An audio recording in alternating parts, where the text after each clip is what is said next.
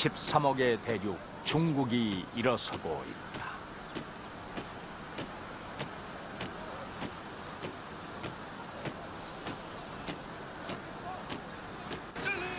21세기 초강대국을 향한 붉은 중국의 비상. 중국의 시대를 위하여 용의 나라 중국은 깃발을 높이 들었다.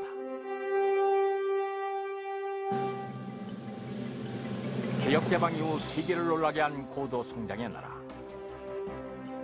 13억 인구를 바탕으로 화라산처럼 폭발하는 거대한 시장의 나라.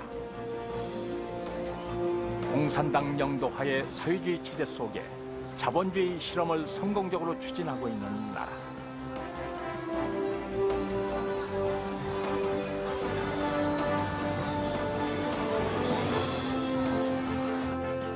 하지만 그 번영의 뒤안 길에서 시름에 잠겨 있는 절반의 인민.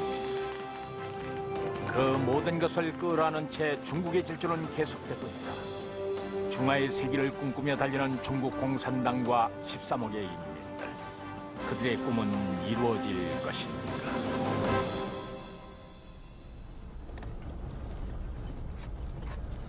지난 5월 KBS 취재팀은 21세기의 세계적 화두인 중국을 들여다보기 위해 대장정의 길에 올랐다. 70년 전 마오쩌둥의 홍군이 걸어왔던 2만 5천리의 길. 곰주림과 끝없는 전투 속에 대설산과 대초원을 건너 이면 장시성 루이진에서 산시성 예난에 이르기까지 그들이 걸었던 대장정의 그 길은 사회주의 중국을 건설하는 길이었다.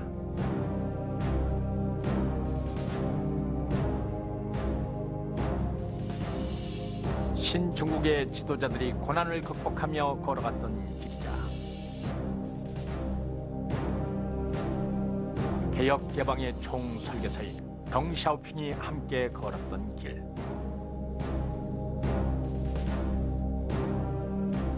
서방 세계의 붉은 중국의 실체를 최초로 소개했던 미국의 언론인 에드가 스노우와 개방된 중국의 모습을 알린 서방의 언론인 솔즈베리가 걸었던 바로 그 길이다.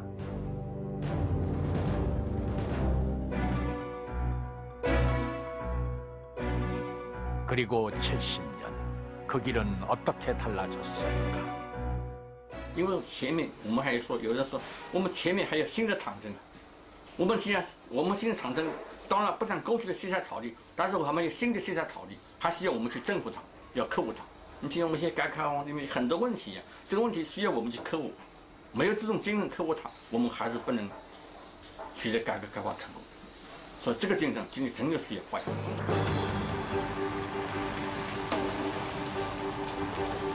学习机关缩短。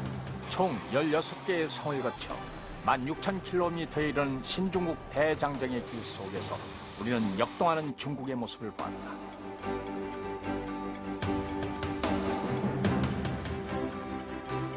변화하는 사회, 13억 인민들의 희망과 절망의 목소리들을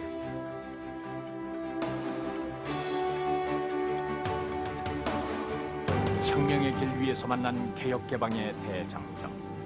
그들의 새로운 대장정은 어떠한 중국을 만들어가고 있는 것일까?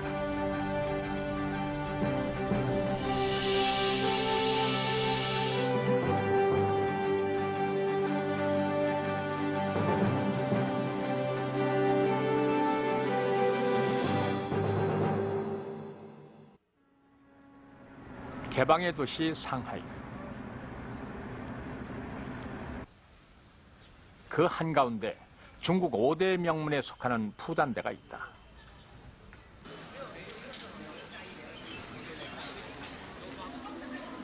중국의 미래를 걸머쥐고 있는 도시 상하이의 젊은 인재들.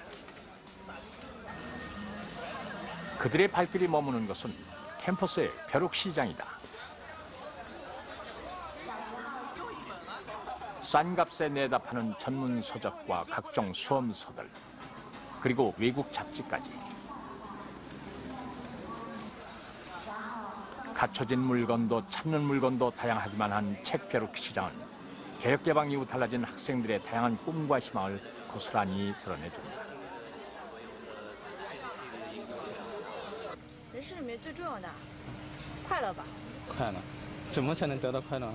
음,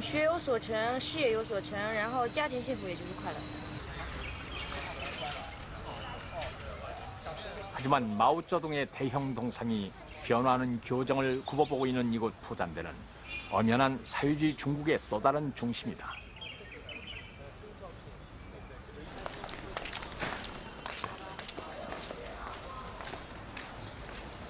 교정 한 귀퉁이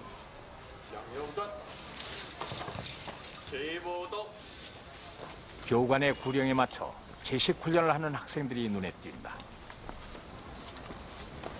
군사 훈련 중인 1학년 학생들이다.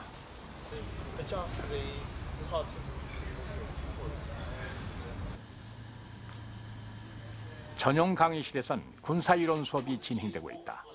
마오쩌둥의 군사론을 비롯해 사회주의 전쟁론을 강의하는 수업 시간.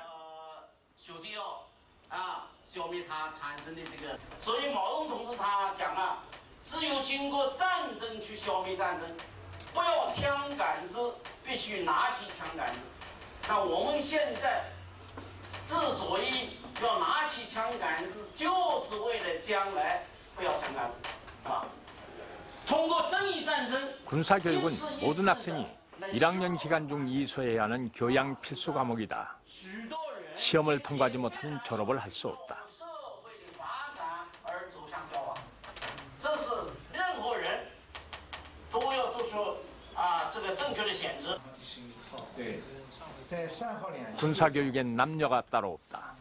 모든 학생들은 36시간의 군이론 교육과 더불어 제식 훈련, 실탄 사격 훈련이 포함된 15일간의 군사 훈련을 받아야 한다.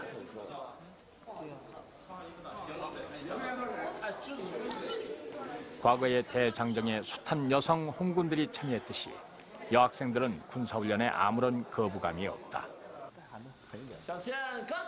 向前看，